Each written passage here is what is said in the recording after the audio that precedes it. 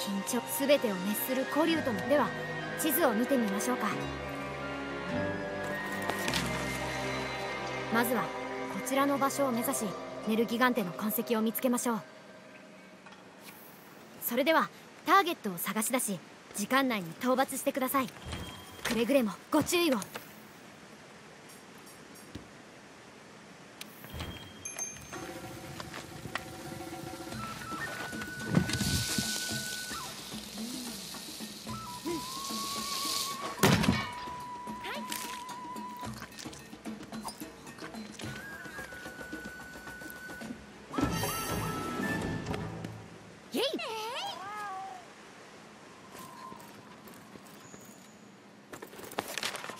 イマップでは現在の位置やガイド先モンスターなどを確認することができます。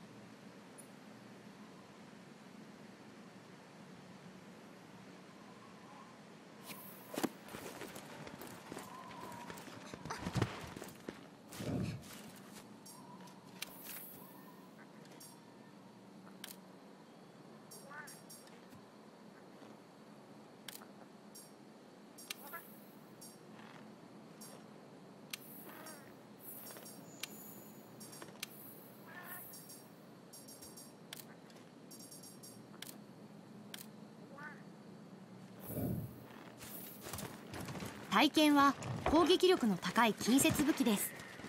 隙は大きいですがその分威力は絶大ですよ。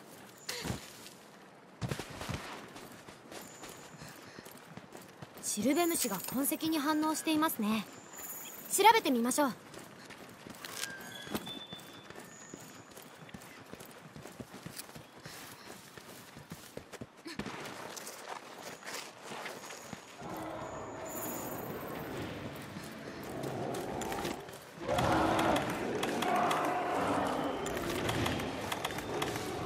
オンカメラを使えばモンスターを見失わずに済みますよ。